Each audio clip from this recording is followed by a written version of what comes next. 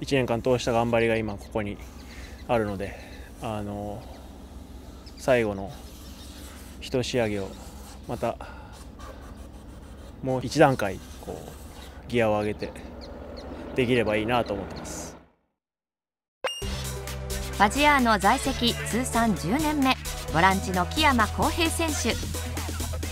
体を張った守備や巧みなパスさばきを武器に J リーグ通算427試合出場を誇るユーティリティプレーヤーです。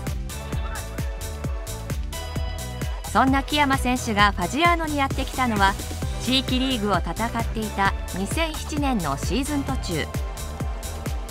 東京ヴェルディから期限付きで加入するとすぐにエースとなり17試合で27ゴール。JFL 昇格へと導き翌年には JFL32 試合で18ゴールを挙げ J2 昇格の原動力となりました。J リーグって全然甘くないのでこれからがやっぱり大変だと思うしクラブ全員選手もフロントも全員が努力しないとと全然 J2 でも勝てるチームにはならないので本当ここからが勝負だなと思ってます、まあ、地域リーグから J2 まで、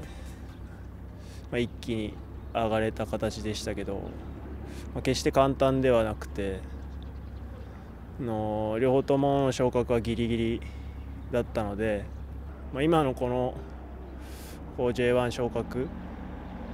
争いをしてるっていうのは全く想像はできなかったですけど。2011年以降蒲田マーレや松本山雅などでプレーした秋山選手。2014年には松本で J1 昇格も経験し2017年一回り成長した姿で6シーズンぶりにファジアーノに帰ってきました。このクラブで今年 J1 絶対行きたいなといけるなと思ってるので。岡山を J1 へ。その思いで復帰から2年連続でキャプテンを務めクラブにとってもサポーターにとっても不可欠な選手となりましたファジアーノ復帰から5年。今もその思いは変わりません。今の願い。それはクラブが J1 に昇格すること。岡山の人たちに J1 の景色を見てほしいしファジアーノサポーターが J1 にふさわしいことを証明したい。今シーズンを歓喜で終えよう。必ず。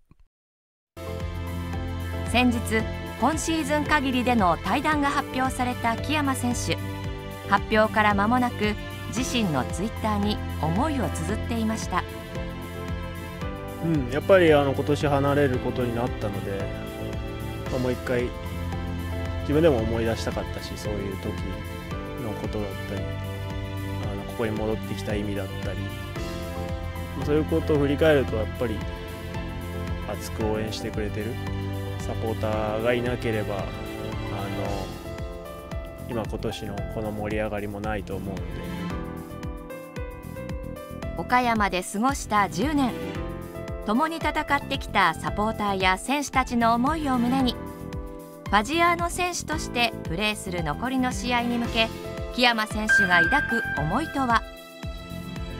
昇格のために戻ってきたのでそこをなんとか成し遂げて、え、みんなで喜び合いたいですし、え、自分がピッチに立ってあの昇格に貢献したい思いは強いので歓喜で終われるように頑張りたいと思います。